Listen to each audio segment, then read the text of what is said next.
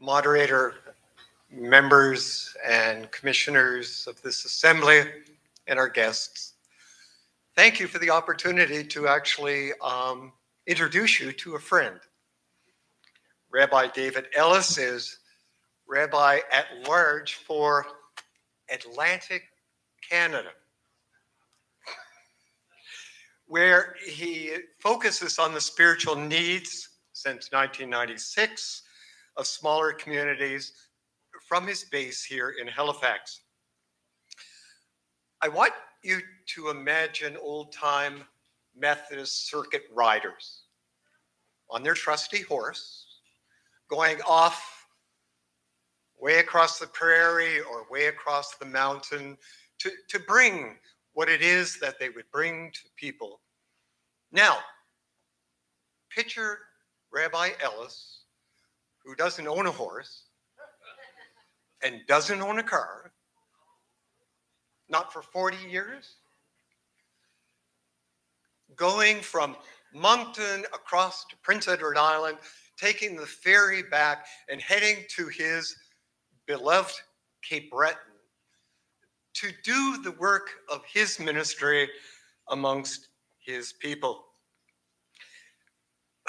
Rabbi Ellis has so many hats he wears, and I'll tell you about one of them in a minute.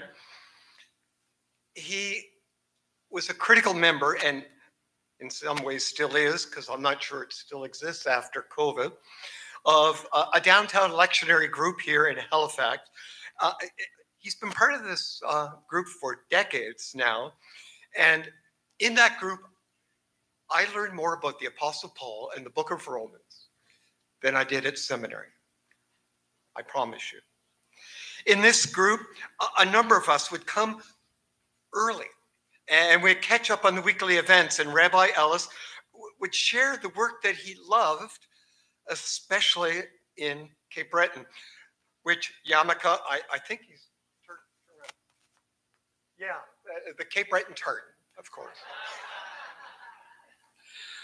and, and, and, I'd say, Rabbi, what have you done this week? And I'd tell him that I was working at the Presbyterian Church. of St. David, and he would say, Oh, I was visiting a little community in Prince Edward Island. And oh, oh by the way, I, I spent all day yesterday at the Halifax International Security Forum, where he would be found rubbing soldiers, uh, almost shoulders with American and Canadian top political and military leaders and giving them advice, which he often did.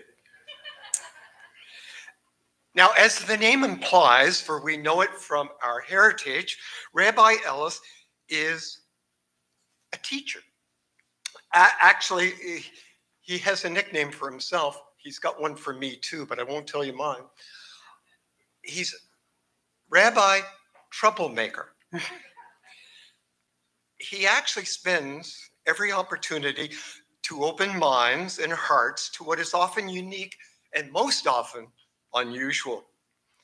I'm quite certain that that's how he'll spend his time with us today. And if you were to spend more time with him in Halifax, I'm confident that you too would end up with an invitation to visit him at his home on Norwood Street, where, where you might find yourself served some of the most, maybe the best latkes in the city. Moderator, commissioners, guests, and friends of the assembly, I present to you Rabbi David Ellis.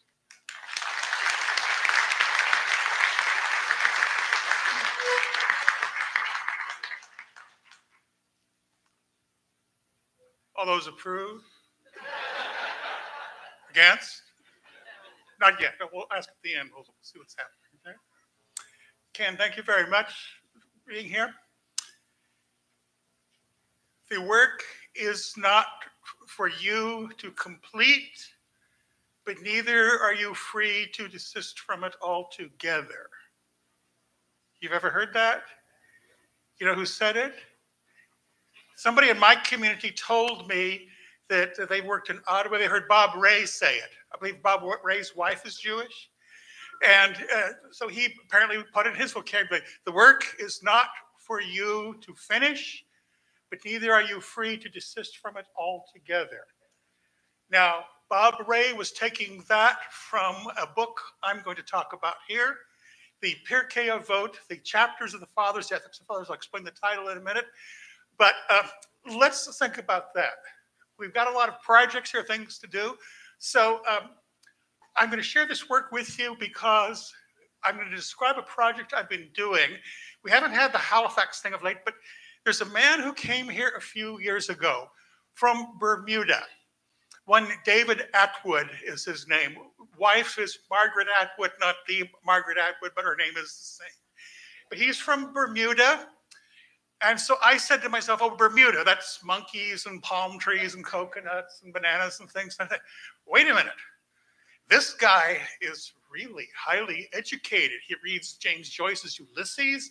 He quotes things. He had a career as a civil servant in Bermuda, and he came to the School of Theology here and he got a degree in ministry. He'd been active in the church in Bermuda for many years, but he came here and got his full degree here. And in the process, he went to the classes in the Hebrew language at the School of Theology here. And I got to know him because he would come by both synagogues in Halifax it, just to hear the service being said in Hebrew. I know the people there understand what's going on. No, they don't, but it does the Hebrew there. So he was able to follow it at his own accord in that. I followed him as he went to Prince Edward Island. He has a church over in the outskirts of Charlottetown now. And he kept in touch with me. And he got a group going, and it's a lectionary group similar to the one we had here in Halifax, except it's done by Zoom nowadays. And so we take the portion of the week, and we've got some interesting people there. We have another very talented minister. We have a professor from the law school. We have a retired doctor. We have an old friend of mine who's professor of English at the University of Texas at Odessa. And we just get a group of people. We all have open observations and thoughts about the lectionary of the week. And we are not afraid to ask questions. We're not afraid to be critical. Uh, nobody's going to try to do anybody in, but we can ask questions and have that out. And that's kind of the way we do sort of things. And it's the Jewish way. I can get abusive and get out of hand, perhaps, in that, but it's the Jewish way to look for differences and to look for disputes and things. It's a whole principle about things.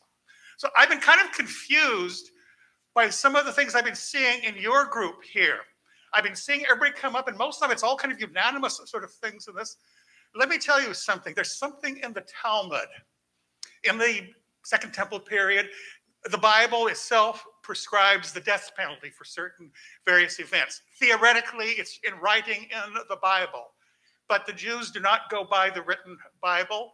We go by the Bible as it's interpreted by the Jewish tradition of the ages, the sages, the rabbis of the Talmud, whatever you want to call them. We're going to see who they are here in a minute in the ethics of the fathers. But the Bible is not read literally, it's not followed literally, it's only by the interpretation of that. So, what the rabbis over the years have done is they have abolished the death penalty in practice, although not in uh, writing. They don't, you don't take out something that's already written in the Bible. You don't amend it, you don't erase it, you don't blot it out. It's written there, but what do you do? You do things around it to effectively deny it, even though it may be still be written that way.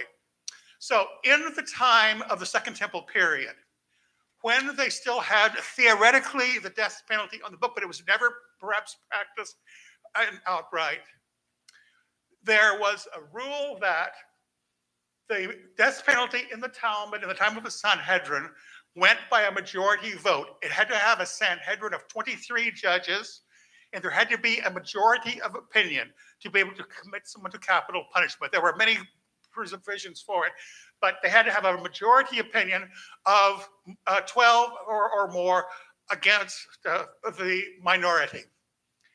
If there was ever a vote for conviction of the person that was unanimous, all 23, 23 to zero, the person was acquitted.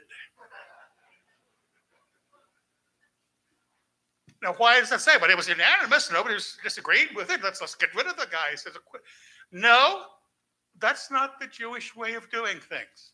What was going on there? Uh, somebody should have said something. The laws of evidence are very complicated. Somebody should have raised a voice against it there. There should have been at least one dissenting vote. Somebody should have made some points there. Uh, somebody did, looked at this. They didn't look at it carefully enough.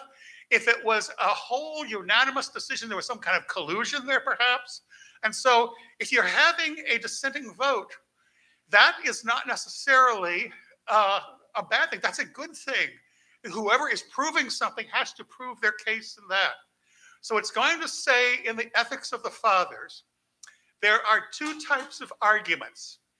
There's an argument for the sake of heaven, and there's an argument not for the sake of heaven. What is an argument for the sake of heaven? I'll give you some examples of some of the sages listed here. There's Hillel and Shammai, who lived at the time of Jesus. They have disputes throughout the Talmud, total absolute disagreements about what the Jewish law or Jewish practices, completely opposite disagreements on all kinds of. They had many things in common too, but they have dispute after dispute in every tractate of the Talmud about what the Jewish law is. Did that uh, create animosity? Did that create hatred? No. It created a great deal of respect because you know something? One part of the Mishnah says that Hillel and Shammai, although they had different categories of who was considered to be Jewish, who was eligible for Jewish marriage, the, the relatives of Hillel and Shammai intermarried with one another. They reformed one another who was marrying, if they were fit the various criteria for both of them, they were marrying them that. And so they disagreed on things that, but the argument was highly praised because what did it do? It strengthened things out. It got to things out. It made people think about things. We go by Hillel's opinion for practical purposes, and there's a reason for that. You know why? Hillel, before he ever gave his own opinion, he let the opponent speak first. And if the opponent didn't get it right, so well, just a minute, let me say this a little louder. So this, this, this. And then Hillel also was famous for never getting mad at anything. There was a man who lost $400 in his day for trying to make, I bet I can make Hillel mad. So he wouldn't go around to try to insult him, try to annoy him. And he said, Oh, you just, that's a good question you're asking. A good question. So just a minute. I've lost money because if you Hillel, it's better that you lose money than Hillel should lose his temper. And so you have these disputes in there. So that's the example wherever you have Hillel and Shammai, they're discussing things. We're practically following Hillel's opinion. There are other opinions in the Talmud that are not followed, but they're important anyway because they might be studied someday. And we want to understand what the basis was behind the negative opinion for that then. And so that's part of the whole Jewish. So can't you just get on with it? Just do that. yes, we do that. We, we follow Hillel's things, but there's a practical understanding that's important also. So it's good to know that. What's an argument that's not for the sake of heaven? There's a story. Do you know the story in the book of Numbers, chapter 16, about Korah? Story of Korah there. He has his followers, and he and his followers get together and they go against Moses and Aaron says, Moses, why are you leading the people here? Aaron, why do you have the priesthood here? Isn't everybody holy? Can't we all do this here? You trying to raise yourselves above everybody here? Can't we just uh, make us all equal and everything? And so it looks like there's an argument between Korah and Moses here about the leadership. But that's not what the ethics of the fathers say. What is an example that of an argument that is not for the sake of heaven? It's between Korach Korah Adato, Korah and his followers. Now, what does that mean? If you read the story carefully, you will see, and if you look at most people who are arguing for the bad purpose, you'll see within the dissenting group that there is a dis- there is a disagreement among that group itself and there's askew purposes. There are people who are really doing it for the right thing will get together and have some community in that. But people who are doing it for just for the sake of argument, just strictly for askewed reasons and that, they will have disputes among themselves. And that's what the ethics of the father says. An argument not for this, it's something like Korah and his followers, because you know something, they didn't agree on things, or they were both fighting among themselves as to who was going to do things with that then. And so this is one part of things we have here. The ethics of the fathers starts out, and why is it with the fathers here? Don't we need some updated language? I'm hearing that phrase. Uh, yeah, maybe, uh, but maybe not. We have the tradition that's put together of the people who are doing it. There are male figures there. You can talk, find references to women. Also, the women were there, but they may have been in the background. But that doesn't mean they weren't present. We have this phrase of Merleau-Ponty, the French philosopher, the prejudice of the actual. We're too much into literal texts and that. Let's what's beyond behind the text? What's going on in the background of the text? What's being said directly? What's not being? What's being unsaid? What's being implied there? If you read carefully, there's a lot of things unwritten, unsaid, but the women play a role within things than that. But it is talking about the fathers, the men, and that. And there's a reason for that too, though. If you turn the pages, God forbid, let's just turn the news tonight. If there's been a mass shooting somewhere, if there's been some kind of terrorism somewhere, if there's been some wanton act of war somewhere, if there's been some swindle on Wall Street, some sexual perversion or rape, something like that, who has caused it usually? A man or a woman? Usually a man, not just in our day and time, but throughout history and that.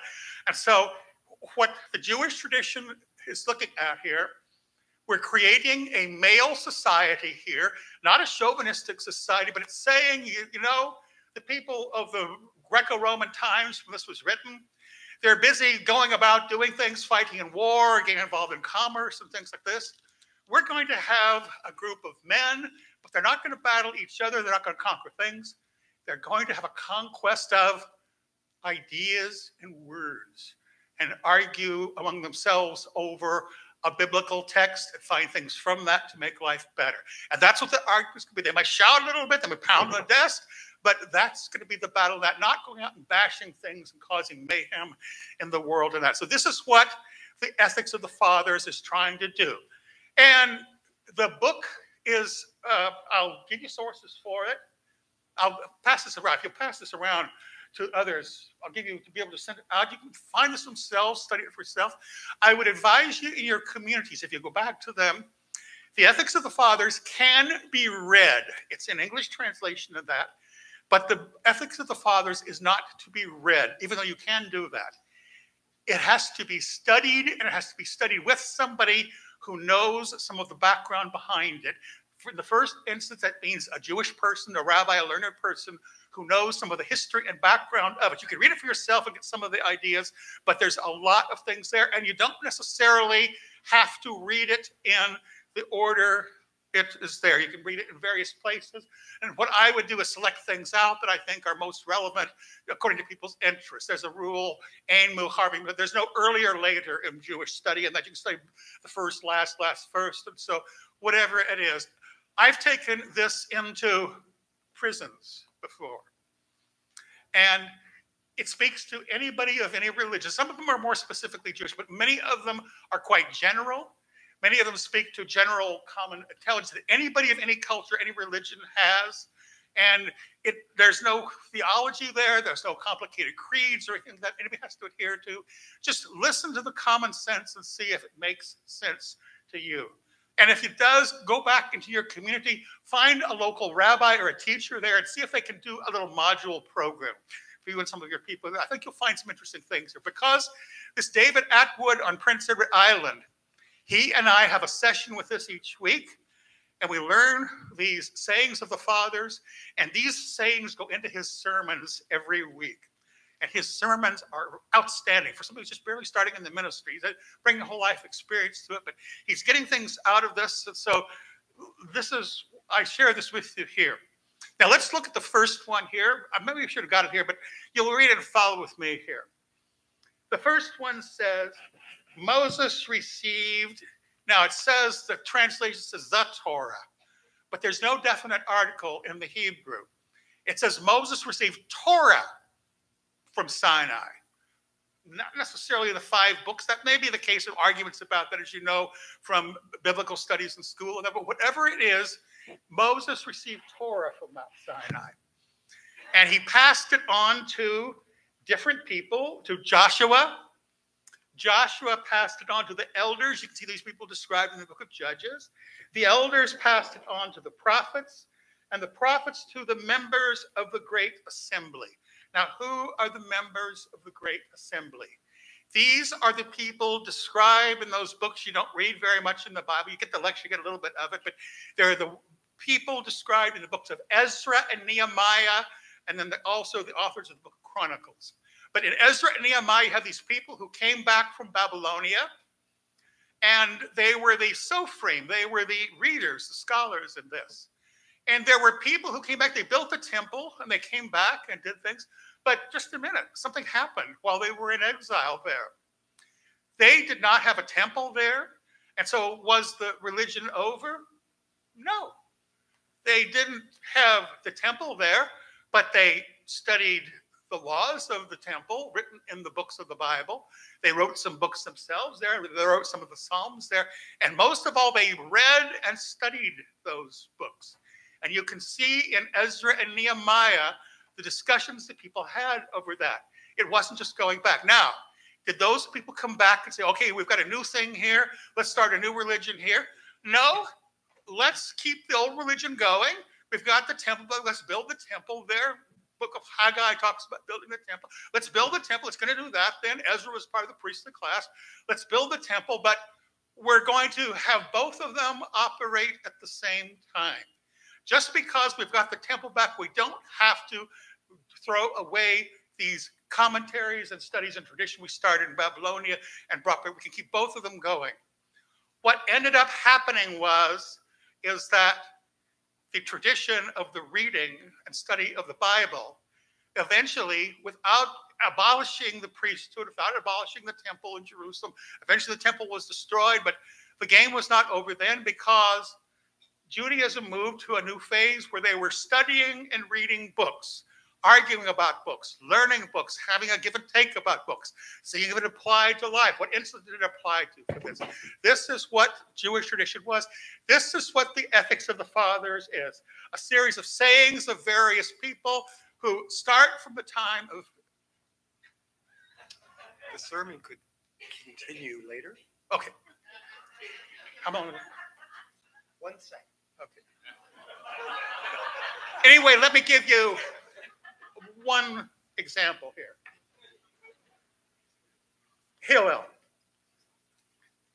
And you'll hear an alliteration here. Im ein ani li mi li. If I am not for myself, who is for me? If I'm only for myself, who am I?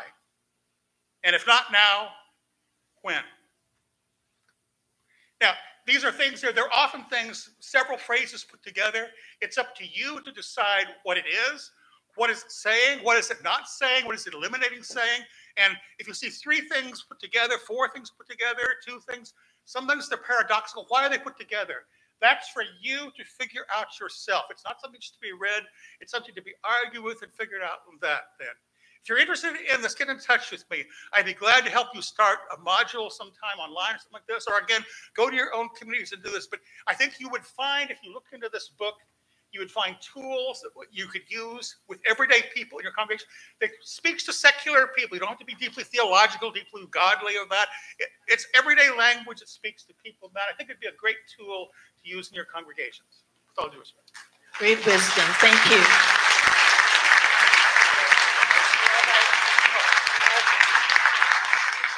Rabbi, Rabbi Ellis, this is a gift from the Presbyterian Church for you.